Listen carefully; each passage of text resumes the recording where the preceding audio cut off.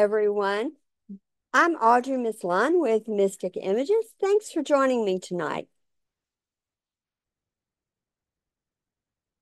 We're going to be doing a splendid sun mandala, and this is kind of a little bit different approach. This is more like a walkthrough of how I completed it and the different steps rather than just watching me create. So I hope you enjoy the format. I'm doing a little bit of experimenting with it. So it's called Splendid Sun Mandala. Supplies include a pencil, ruler, compass, protractor, eraser, scrap paper, alcohol markers, colored pencils, black Sharpie, and a craft mat. I used Ranger Archival ink pad in magenta hue. The stamp that's featured is the Splendid Sun Art foamy stamp, and I'm using Strathmore mixed media paper at five and a half by eight and a half. I also have a clipboard and masking tape just to kind of keep everything secure so it doesn't move around. Here's my starting point, and it's a beautiful stamp from Art Foamy. It stamps well with archival ink, um, especially once you've used it once. And I also make sure I mark the center of my paper both vertically and horizontally before I stamp the image.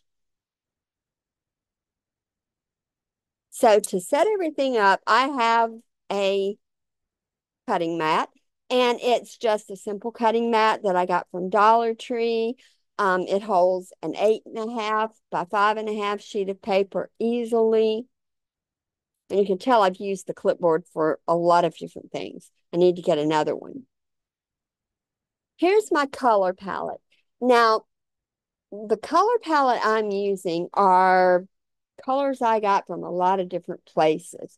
Um, so I can't give you exact names because I use several different brands on it, but I use kind of a darker purple or fuchsia, a medium fuchsia or pink, and then a green. Um, you also see on the side where I tested my colored pencil and my glitter pens. Um, and again, I use lots of different brands of glitter pens. Um, lots of different brands of colored pencils as well. It's just whatever I grab. But I do like to make sure everything works well together. This center stripe that you see on screen is from where I tested what a white colored pencil looks like over the alcohol marker.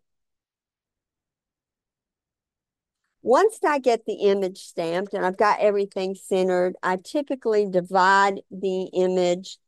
In this case, it's in 10 degree increments.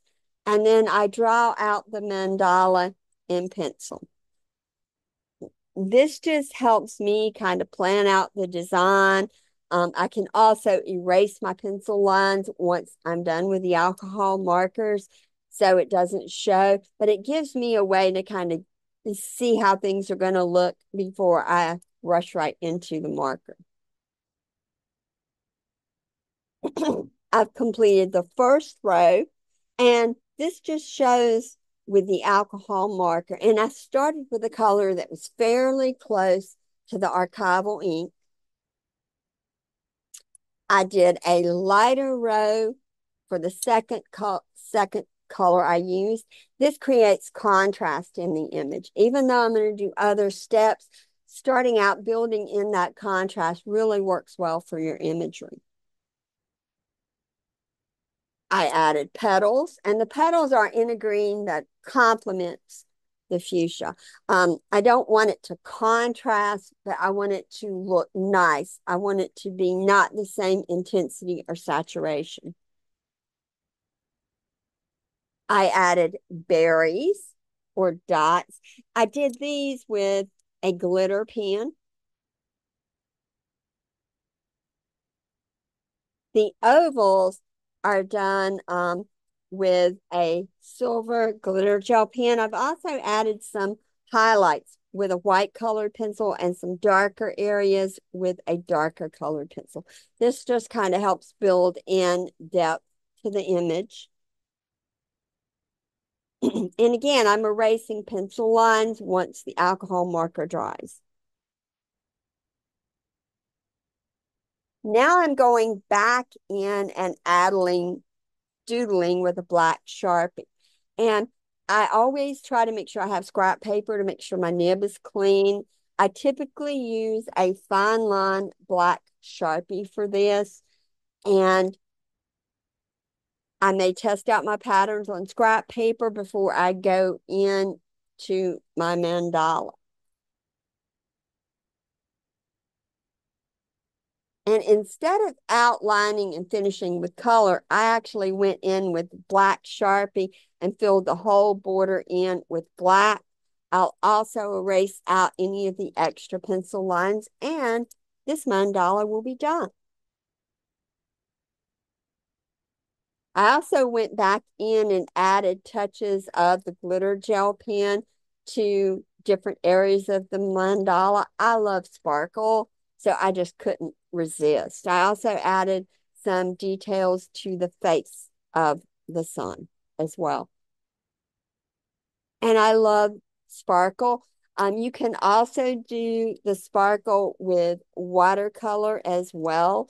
Um, I would recommend if you are going to do the sparkle with watercolor that you do that first before you do a lot of color pencils. Sometimes the wax in the color pencil will cause a resist with the watercolor. And here is the finished mandala with the black border and glitter gel pen work added.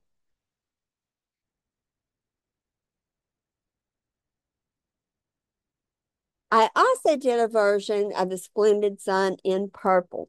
Um, I'm a big fan of purple. I also like pink, I particularly the magenta fuchsia kind of hues. So here's my color palette. And for this one, I use the Lunar Lilac and Moonlight White Moonlight Duo Tint ink pad. These have been discontinued now um, with art foamies. You may still be able to get them as long as they're in stock. And I use the Splendid Sun stamp from Art Foamies again. And again, you can see I tested out my colored pencils. I tested out my gel pen and my white colored pencil over the alcohol marker.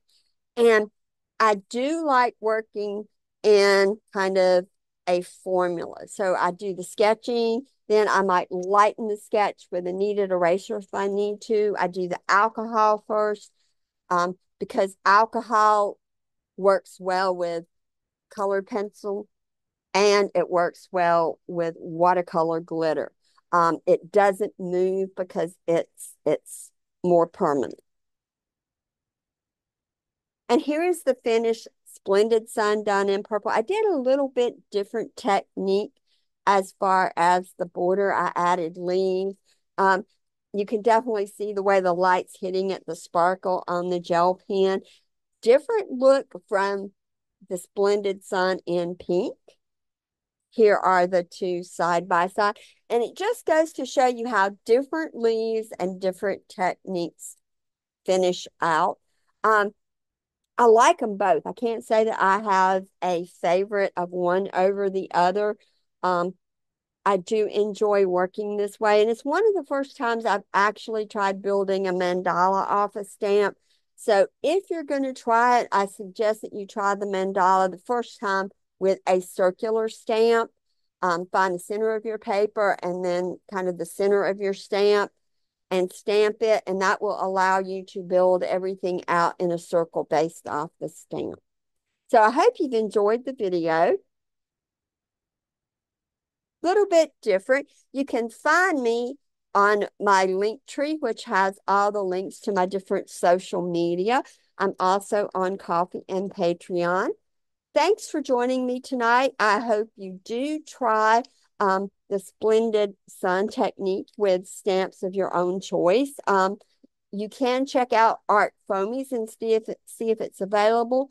I'll be dropping a link to Art Foamies as well as their Etsy shop in the description box if you want to see if you can find one. So thanks for joining me tonight and have a wonderful rest of your evening and stay creative, everybody. Have a great night. I'll see you on the next one.